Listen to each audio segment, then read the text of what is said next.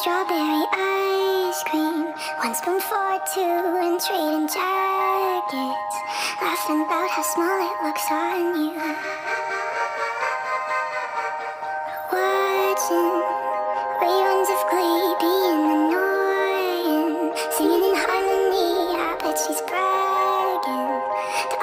I'm saying you're so unique. So when you gonna tell her that we did that too She thinks it's bad